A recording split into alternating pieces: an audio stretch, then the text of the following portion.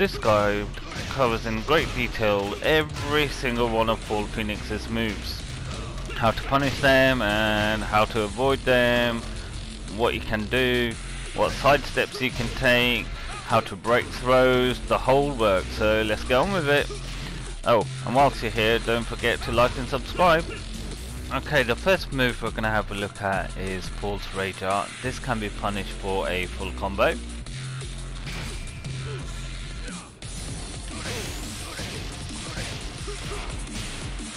Whatever combo you like, I've gone for that one. Move number two is this Rage Drive. If you're like far around about here, you can sidewalk it in either direction. But if you're close by, like around here, there's nothing you can do about it. It's safe, leave it well alone. Move number three is safe, leave it alone. If you're Paul main, mash this out as much as you can. Move number 4 can be low parried after the first hit and followed up with a combo. Move number 5 can be ducked after the first hit and followed up by a twin pistons combo of your liking.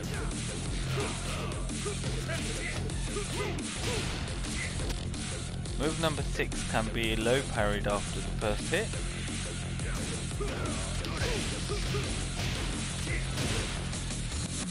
Move number 7 can be ducked after the first hit and followed up with twin piston combo.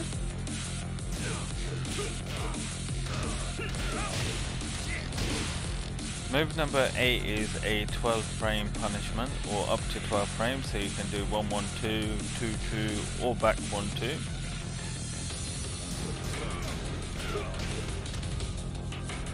Move number 9 leaves you in a crouching position, leave it alone, it's safe.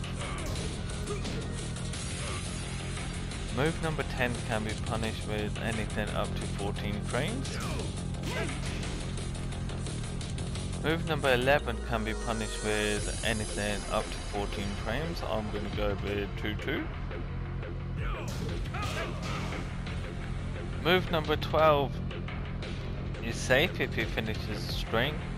You can interrupt it after the first hit with a down jab, but that's all you're getting from it.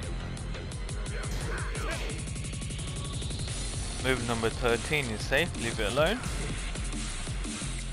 Move number 14 is a 1-1-2 punishment. The boot is safe, leave it alone. Hammer punch is safe, leave it alone. Move number 17 can be sidestepped in either direction after the first hit. Um, followed up with a combo. Block the low and punish with Whilst Rising 2. Move number 19 is dependent on your position. If you whiff it, you can punish it with full combo. If you're close enough, you can block the low and punish it with Whilst Rising 2. That's a Whilst Rising 2. And that's any punishment. Demolition Man. This deserves a video of its own. There's a lot of things you can do. Number one, you can block the low and punish it with Whilst Rising 2. Number two, you can, if you've got a lot of distance, so you're about here, you can sidestep in either direction. Number three, you can do Magic 4 just before the final hit. Or you can do Twin Pistons just before the final hit, but putting this into action is quite difficult. So it should look something like this.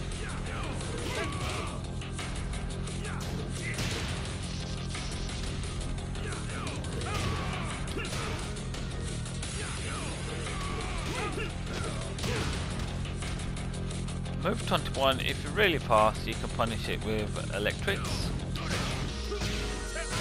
Like that. Move number 22, because of the pushback it's safe, leave it alone.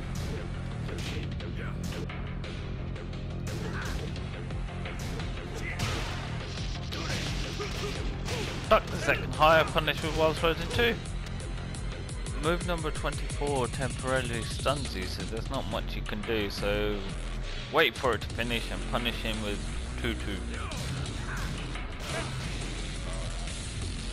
Move to on to 5 is safe, leave it alone. Move 26 is whilst rising 4-4 or low parry. Low parry.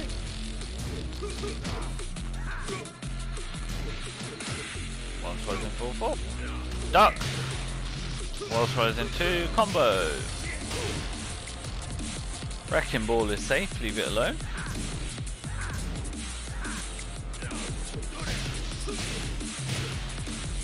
Side step left and punish. Move number 30 is back 1 2. Move number 31 can be sidestepped in either direction after the first hit. And follow up with a combo. Whilst rising 2 punishment. Move number 33 you have to low parry after the first hit.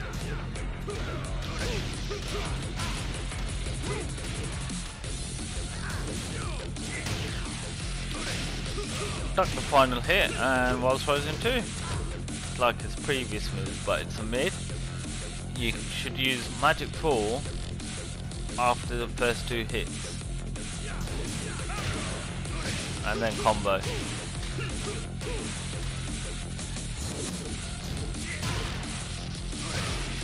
When 36 is a seeable low, duck it and whilst rising 2. Side step right and punish. Whilst rising 2 punishment.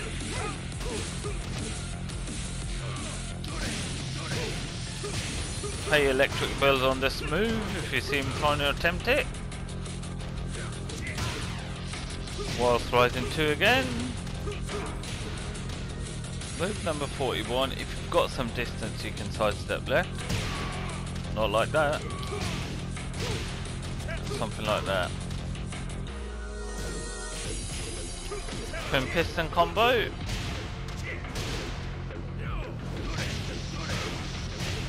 Man to man sidestep left. 44, there's nothing you can do, leave it alone.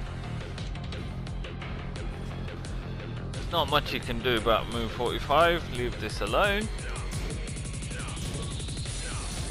Move number 46, there's not much you can do about it, so leave it alone. And if you're Paul main, abuse it as much as you can.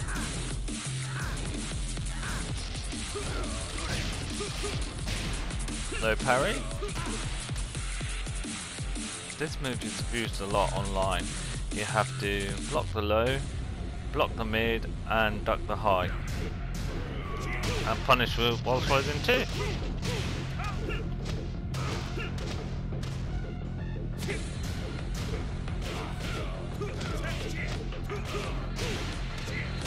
Twin piston combo. Twin piston combo again.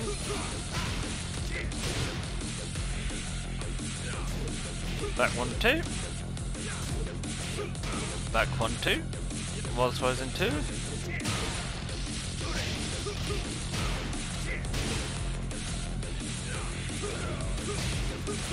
Low parry or whilst rising 4-4.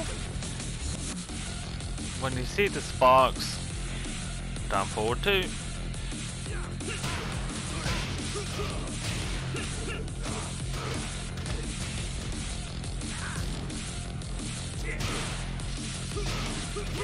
Duck, whilst rising 2.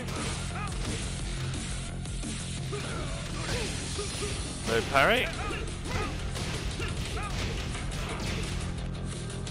Okay, throw break number 1. This can be broken by pressing 1 or 2. That's 2. That's 1. Throw break number 2. This can be broken by pressing either 1 or 2. That's 1. That's 2. Throw break number 3 can be broken by pressing either 1 or 2. That's 2. That's 1. Throw break number 4 is the same as the other lot. Either 1 or 2. That's 2. That's 1.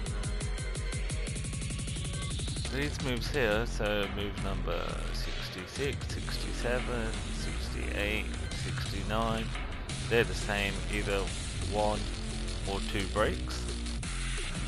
Move number 70 is a 2 brake, you have to press 2, like that. Move number 71 is a 1 plus 2 brake, like that. Move number 72 is a 1 brake, like that. If you don't break it, this is what happens. Whooped. Move number 73 is a one break, like that. If you don't break it, you're going flying. Move 74 is a 1 plus 2 break, Like that. And if you don't break it, you're going miles away when you're standing. But if you've missed that and you're almost going to the floor, press 1 plus 2 and it should reverse, but its timing has to be immaculate. So that's 2. And reversal. Move number 76 is a 1 break. Move number 77 is a 1 break on the floor. Move number 78 is a 1 break when you hit the floor.